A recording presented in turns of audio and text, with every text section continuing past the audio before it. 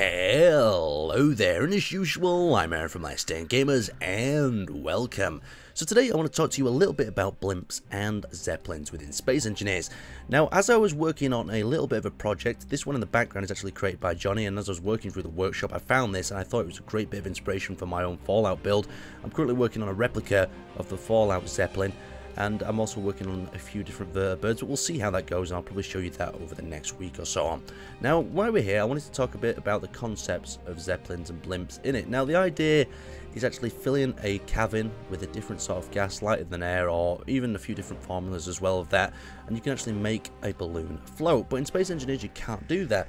But I thought what would be interesting is discussing the possibilities of trapping air or oxygen within an environment like this. So at the current moment in time, to breathe and take off your helmet, you can trap oxygen within an area and produce it. So what would be really cool, this would probably require a lot of coding as well, is if you could create another chemical to actually create lift itself.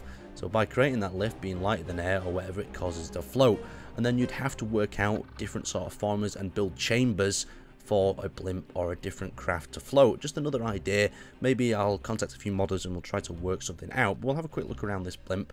And you can see I've painted it up in the iconic Duff Beer Simpsons type logo. And I have to say, something about this blimp that's beautiful is the curves in the shape. And you know that I'm a big follower and lover of a well curved and rounded ship. And just look at this, how he's managed to curve the edges. And from a distance, just look how beautiful that oval sort of blimp shape as well. And then as we come to the back, he's also created these little fins that come off. And what's great about this design is that you could just imagine taking and ripping so many different parts off and creating it into multiple different ships. Just look at the point at the end there as it comes into that area, as well as the fins at the back. Absolutely beautiful. Not super detailed interior, so as we come back inside, you can see it's hollow. But if you were working on a similar project, you could fill this with whatever you wanted, unless they do develop some sort of lift mod based on gases. That'd be really cool. So inside the actual chamber itself, we've got a number of seats at the back. We've got this beautiful viewing sort of plateau where we can see the engines, the rotors up there actually propelling. We've got a Gatling turret at the back. And then as we come through the seating area, you see we've got a little bit of a hole in the floor where there's a camera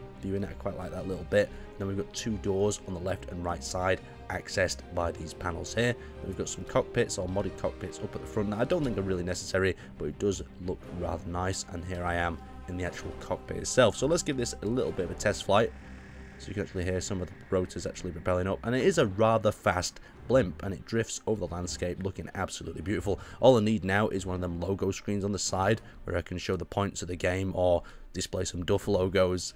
But yeah, the original ship that he did design comes in grey and I've just painted it up in this for a little bit of fun.